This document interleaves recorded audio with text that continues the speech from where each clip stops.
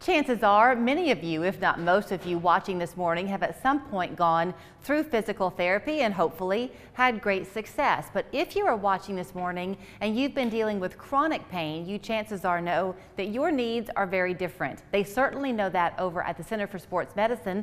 Brandy Parker is very happy to be joining us this morning talking about really and truly a brand new and very unique program they offer there now called ACT. Great to see you. Good morning. Thanks for having us today. There is a humongous difference. I've, I have someone in my family who's dealt with chronic pain in that versus an acute issue that you have to just heal and then move on with. Yes. Um, so, ACT is acceptance and commitment therapy. It is a method of therapy where we are using to help treat chronic pain. And then the goal of ACT is to allow an individual to accept painful sensations in their body which they have been unable to control and be able to return to the activities which they value. So it's a little bit different from that acute kind of injury versus that kind of prolonged and things are working type of pain. Okay, so let's pause there for just a minute because if you haven't ever experienced chronic pain, it's, it's just hard to conceive what it is to hurt all the time or a good chunk of your day. So let's say you're someone uh, and you have fibromyalgia, for example. Would this be somebody who would benefit from ACT? Absolutely. Uh, a, a, typical patient is one who's had pain for extended period of time. So we've we've seen that exact uh, diagnosis with fibromyalgia, and it is likely that they've not seen results from trying medications, previous therapy, or even other treatments in the medical field. Okay, so the fact that the word acceptance is in this acronym means a lot to me because part of your healing, I guess, has to be that your mind has to go in sync with the physical lessons you're going to learn. Correct. So it differs from traditional therapy in the sense that we are specifically addressing our mind and our thoughts in relation to the pain we feel as we do things throughout the day. So to do this, we will be providing some exercises for our mind and our mind is a powerful tool we have, and training it in combination with traditional therapy to address the musculoskeletal problems is getting some really good results. So I'm going to stumble my way through this, and I might get it all wrong, and you are welcome to correct me on the air. Fair? But Fair. is it true that our our brains are what signal our pain?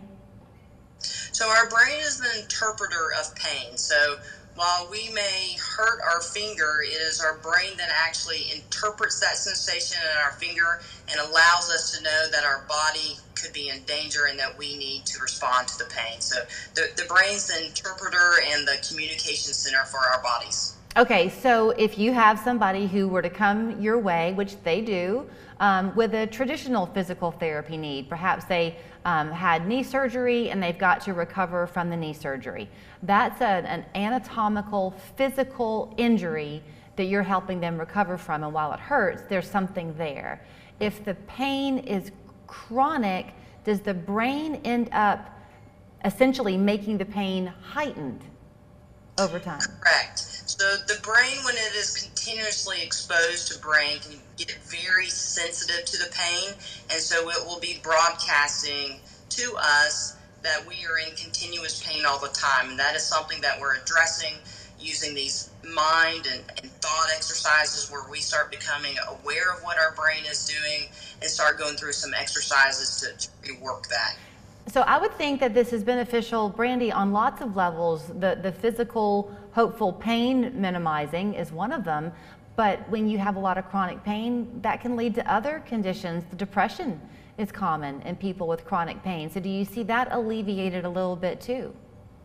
Nearly every single patient that we've come has lost some hope. They've they're, they're kind of down on the situation they're in. So yes, as they're able to um, start doing the things that they had previously given up on, uh, yeah, their their their mood changes, their outlook on life changes. And it's just a really exciting program to help others achieve what they want out of life. I'm sure it's an individual basis. We have a minute or so left. In terms of success rates, does it, do you begin to see that success relatively quickly? Um, it's not necessarily really quickly. I mean, this is these are usually some conditions that they've had for a long period of time.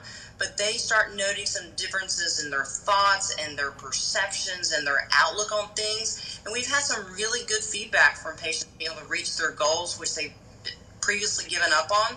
And one patient was told me that one day she was sitting there and she got scared because all of a sudden she realized she didn't have any pain anywhere in her body. So that was unusual for her. But as she she began to accept that, um, it was really exciting. and She was return some of the things that she wanted to do in life. Perhaps the most important question if someone's watching this morning and they think, wow, this really could be what I've been looking for, can they call you on their own or will a doctor need to refer them?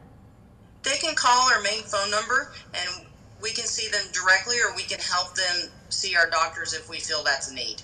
Well, it is wonderful to talk to you. No surprise that y'all would be the ones having this program to offer. So it's called ACT.